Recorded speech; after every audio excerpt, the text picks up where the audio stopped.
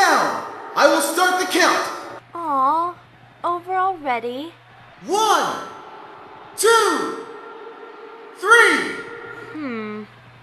four, five, six, seven, eight. This was just too easy for her. She's gotten really strong over the years. What a fighter. Nine!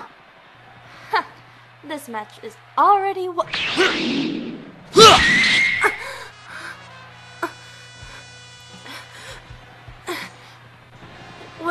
what happened? I got bored of being Mr. Nice Guy. now the fight really begins, and it's going to go my way and my way only. What?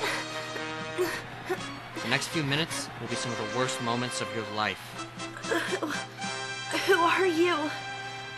Why, I'm Cape Man. Just as Pan thought the match was over, Cape Man had a counter which left her stunned and wounded. The wind was knocked out of her without any kind of warning. What else does Cape Man have in store?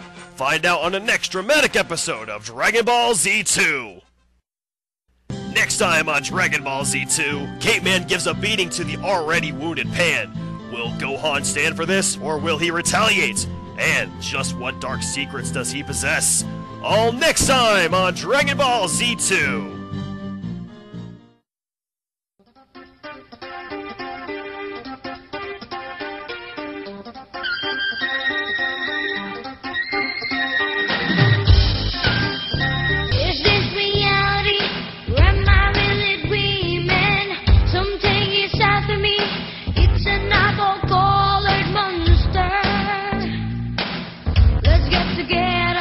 见逐见略见略见